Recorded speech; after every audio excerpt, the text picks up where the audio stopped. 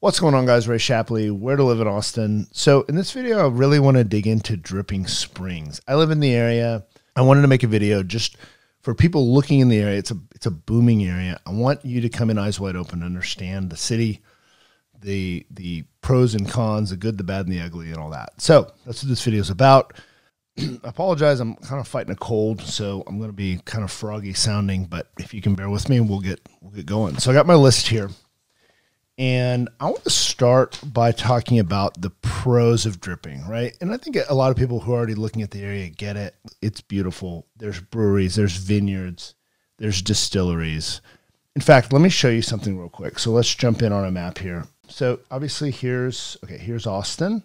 Here's Dripping Springs, but what I want to show you is that this is kind of our wine country here as we move out towards Fredericksburg from Dripping Springs to Fredericksburg. This corridor, if you will, it's kind of a stretch, but think about it as our Sonoma or Napa Valley, right? It's our own version. It's not Sonoma, it's not Napa Valley, but it is what it is. This is this is the what's in the making in Texas. And from a you know, from where you might want to position yourself long term, think about that. But what's cool about dripping here is you are kind of at the the entrance to this wine country. So there's a lot of breweries, a lot of vineyards, all that good stuff throughout Dripping, but you can also get into it really easily because Fredericksburg is kind of the mecca. That's like where the the vast majority of vineyards are, and everything on the way. There's fun places to visit on the way, but um, yeah, Dripping's kind of the beginning of that. The next thing I'm going to say is that you know Dripping Springs is a great family community. It's just kind of geared towards families. Um, there's all walks of life that live here and are comfortable here, but I will say it's very family oriented in that if you have kiddos and you go to a vineyard or brewery or something, they're probably going to have playscapes. All the restaurants have outdoor things for kids to do. There's just in general, the the the town is kind of geared up because that's just the general population. They tend to skew more towards the family side and even the larger family side. Also, it's a reasonable commute into downtown. So if you're commuting into downtown or Southwest Parkway, where there's um, you know chip manufacturers, things like that, any either of those two areas, you're going to do really well living in Dripping Springs. If you're going north, this is not the place for you. I can just tell you that right now. It's going to be rough unless you're doing it like once or twice a week. And the thing with Dripping is the traffic. There's some bottlenecking inside of Dripping, but there's the main bottleneck is at this place called the Y at Oak Hill here. And the, the joke in Austin is that they're they're fixing it because they've always been fixing it and they've never fixed it. But what they're doing now, they took some pretty pretty major action. They are fixing it. So what when this is done, you're not going to bottleneck for 15 minutes at the Y at Oak Hill getting into Austin, and you're going to be able. It's basically going to cut the distance time wise, getting from Dripping Springs into Austin by about 10 minutes, if I had to guess. So it's basically making Dripping Springs that much closer to Austin. My next favorite thing is the fact that it's a dark sky ordinance city. And in fact, I think it's like one of the first cities or the first in Texas to do dark sky ordinance. Very serious about it. I'm a big fan of it. So what it means is, uh, you know, they really limit the number of streetlights there are in neighborhoods, places like that. There aren't a lot, and the idea is to protect the stars at night so that you actually have you don't have light pollution. You know, I've, heard different opinions on this. Somewhere in one of my comment sections once, uh, I, I can't remember what they said, but someone was like, "Oh my God, these people don't even have lights at night. There's no street lights. This is so backwards."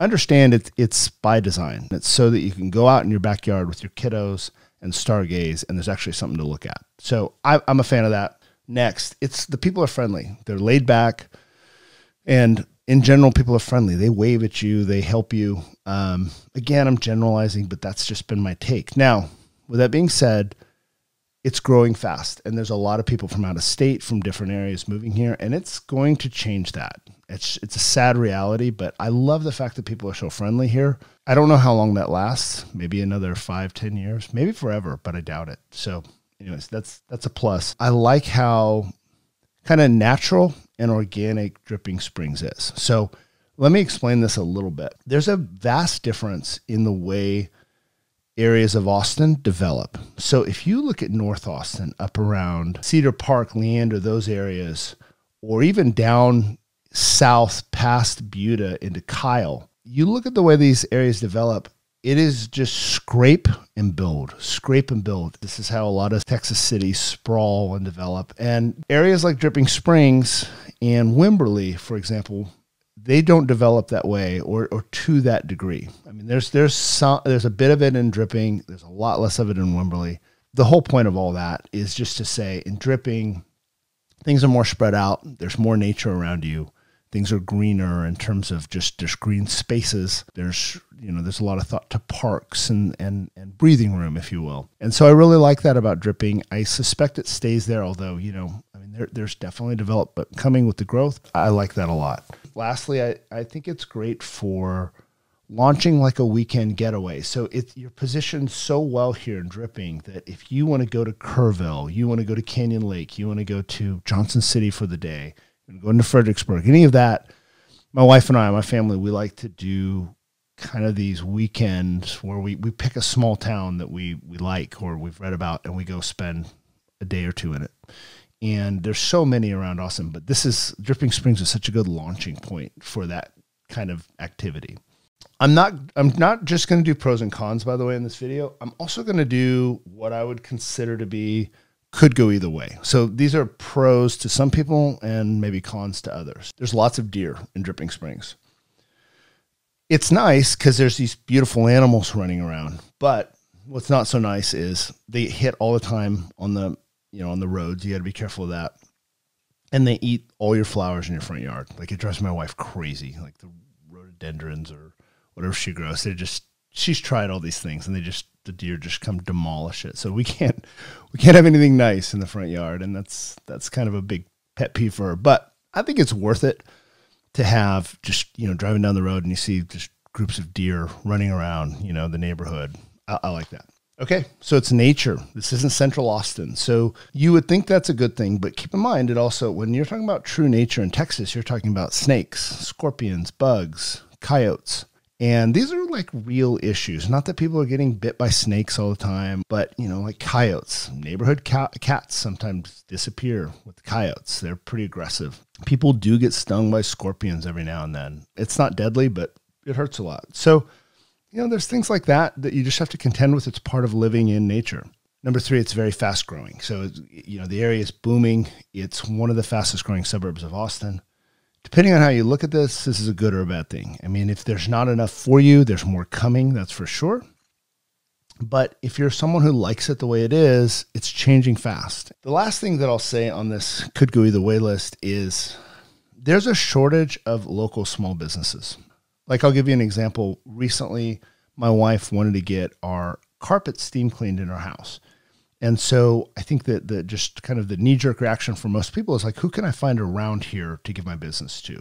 Someone who knows, you know, can get here reasonably soon, knows the area.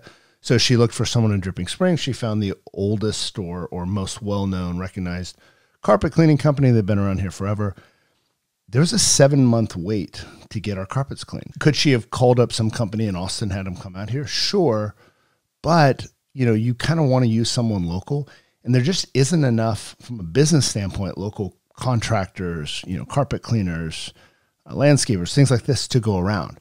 So it can be a bit of an inconvenience if you want to use someone local. However, if you're someone who wants to build a small business or start a business, this is probably one of the best opportunities I think you'll ever find. It is you know your timing could not be better to set up a business in this area. You know, obviously do your research and figure out what's in the area and what's not, but as a general rule, you're probably going to do really well.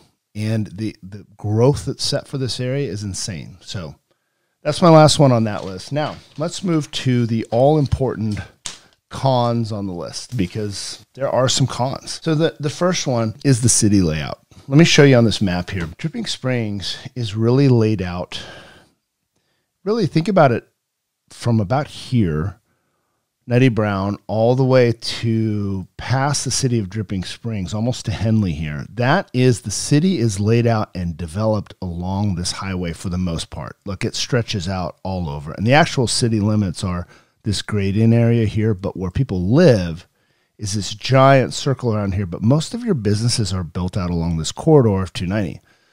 So it means that you're always on this highway, going to different places. So you spend a lot of time on a highway.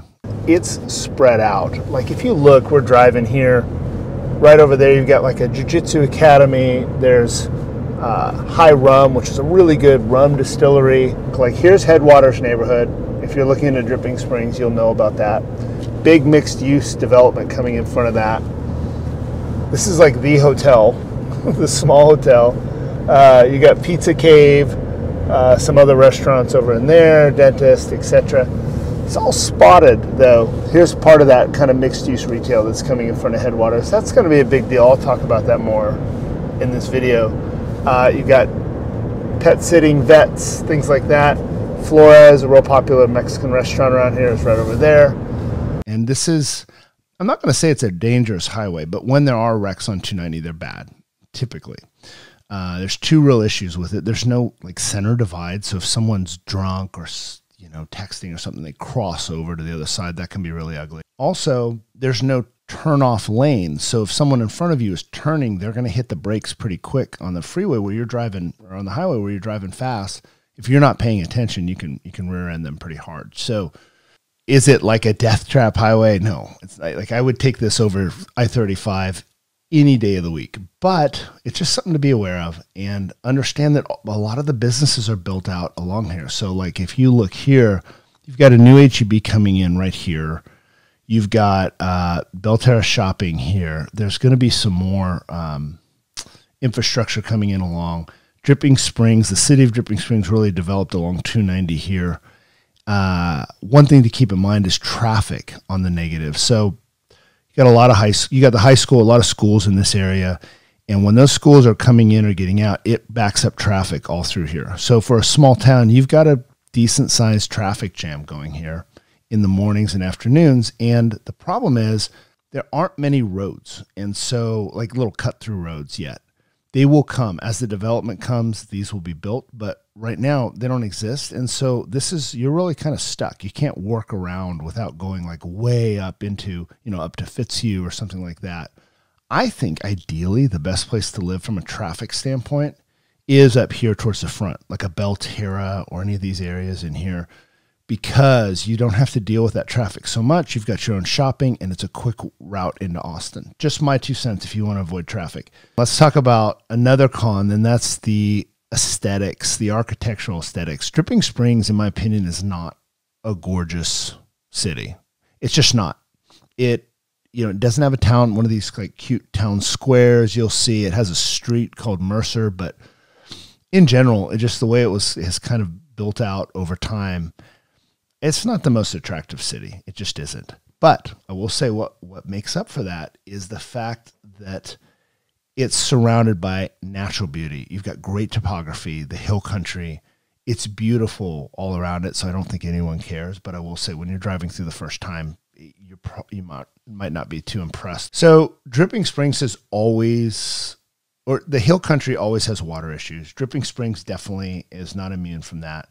Um, you've got both wastewater issues with these large developments coming in and drinking water issues or the ability to get water from the water tables. So the way it works is in the hill country, you have these water tables underground and, you know, people build a house and they drill a well into one of these and that's their drinking water. but it takes so many years for the water to filter back through down to those. And what's happening is, is there's too many straws in the cup as, as the area develops out and it's it's causing water issues. Additionally, you also have wastewater issues when you build these massive communities, these you know Belterras and so on, where what to do with those waste with the wastewater. So just know that Dripping Springs as a city is going to have to deal with this, and there could be some bumps in the road along the way. If you're living in a subdivision, it's probably not going to be an issue for you. The thing to know is if you're living on land, if you're going to buy an acre plus, because most, I don't know if it's most, but a lot of people in Dripping Springs live on land, and most of them have wells. If I'm doing it today, I'm or let's say I'm building on land, I'm going to do rain collection. I think it's the future for the hill country. Uh, if you oversize your tanks, you can go six months without rain. Put that away somewhere if you're buying on land, looking at rain collection. It's going to cost more, but I think it's worth it. The next thing is Dripping Springs is expensive. You know the the average home price is going to be more expensive than Austin. There are some affordable options being built in dripping, but just know if you're comparing it to like Leander, you're going to get less for your money in dripping. I think you make up for it with schools and like natural beauty and things to do and just kind of culture around here. But I, it is a trade off, big time. All right. So, next on the list of cons is definitely going to be the lack of public transportation. There just is none. There's no public transportation. In fact, there's not even an Uber or Lyft most of the time. All right. Lastly, uh, they kind of roll up the streets at nine. So there's not a lot to do in dripping. Oh man, did I cover the restaurants? I didn't. So I got to cover that next. But after 9 p.m., there's there's very little to do. There's a few places, but it, and it's gonna it's gonna improve. But just in general, know that they kind of you know after dark, after at least after eight or nine, there's not a lot to go do in dripping. All right, let me circle back to restaurants because I haven't talked about that. That's probably one of my biggest problems with dripping is we just don't have very good restaurants here. We have some good, a handful of good ones, very few like amazing ones. And, you know, when I was a kid, Austin didn't have very good restaurants. Only about 10 or 15 years ago did we really start getting a good restaurant scene.